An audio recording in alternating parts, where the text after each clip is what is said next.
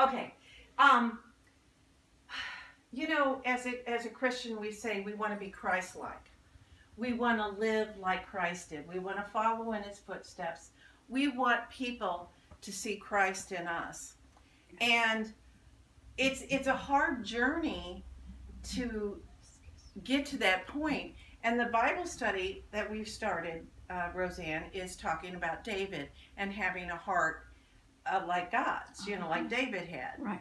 A heart, a heart after God. Wait, how does it, how do you say it? He's a man after, God's, own, heart. That okay. I get tongue tied anytime. But God's kind of you know, and there's this one song that I used to love uh, back in the early two thousands. This is the air I breathe. It's called Breathe, I think. This is the air I breathe. Yes.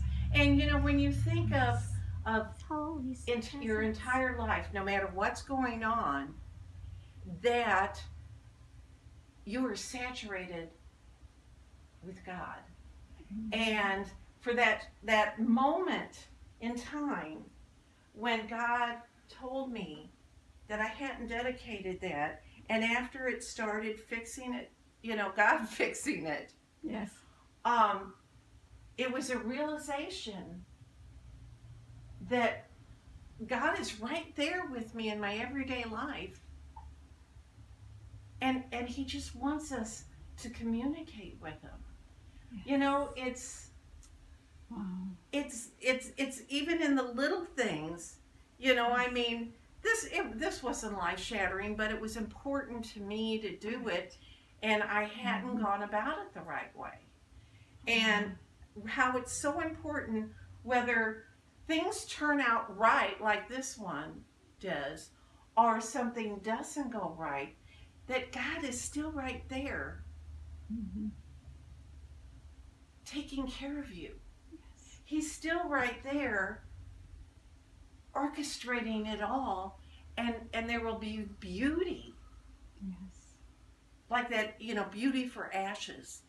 You know, whatever God touches in any situation, your situation, your situation, Roseanne, yours, Barb, and yours with your daughter, and any other thing that you might have. Oh, so that's what I wanted to share tonight. I was so excited. And I was going to share this last week, and I hadn't finished this yet.